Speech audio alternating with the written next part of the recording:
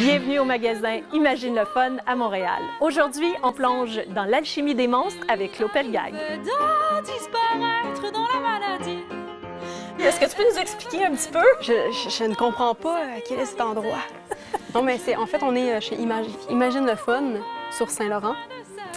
Puis euh, c'est un magasin de, de perruques, euh, de, de masques, là, où j'ai quand même acheté beaucoup de mes éléments de, de décor dans mes shows.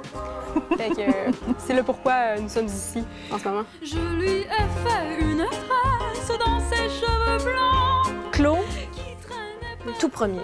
Oui. T'es contente? Oui, je suis contente. Ben oui.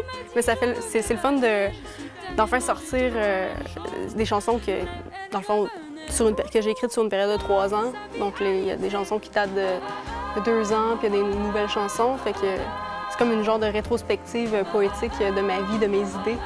Fait que c'est fun de, pouvoir les sortir enfin, puis, euh, puis de laisser place à, à d'autres, d'autres idées, parce qu'il y en a beaucoup d'autres euh, qui s'en viennent aussi. Si je te demande de me décrire l'alchimie des monstres, parce que c'est le titre, qu'est-ce que ça veut dire pour toi? Ben, l'alchimie des monstres, je pense que j'aime beaucoup le terme euh, l'alchimie. J'avais lu L'alchimiste de Paulo Coelho quand j'étais ado.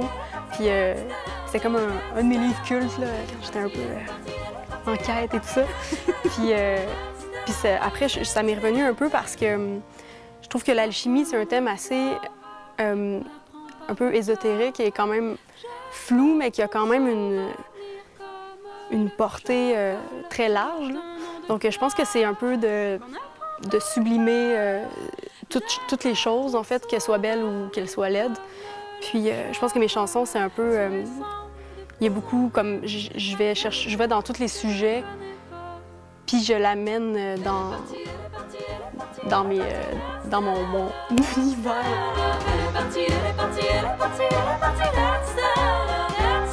Chez toi, la poésie, elle est grande, très grande, Mhm. et tu réussis même à marier, presque confondre la musique et les mots.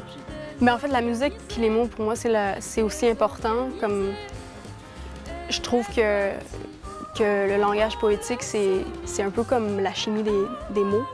Puis, euh, puis chaque mot qui, qui a une définition propre à, elle- à- à lui-même, euh, quand ils se percutent ensemble, ben ça peut donner n'importe quoi. Donc, c'est une possibilité infinie.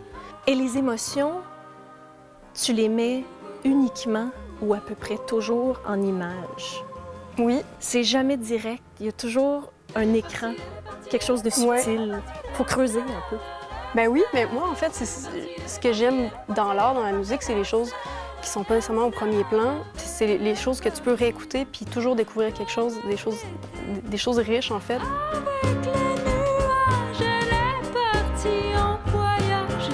De la chanson La fièvre des fleurs, Mhm. peux-tu m'en parler un petit peu? Ouais, ben la fève des fleurs, c'est euh, c'est venu dans un moment où j'essayais de- d'écrire des chansons joyeuses, en fait. Oups! puis là, puis là j'essayais de faire une, une mélodie joyeuse. Puis là, j'étais comme, ah ouais, ça va être joyeux. Puis là, j'ai- je commençais à écrire. Puis là, je trouvais ça, tu sais, je suis pas capable d'écrire une chanson si, je trouve ça plate. tu sais, C'est comme, toutes les, tout ce que je, je chante, tout ce que, ce que j'écris, ben pour moi, ça a quelque chose de, de le fun.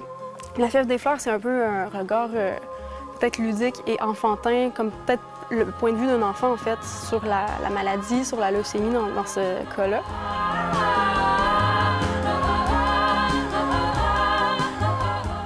L'album L'alchimie des monstres est disponible maintenant. Moi, je vous dis à la prochaine.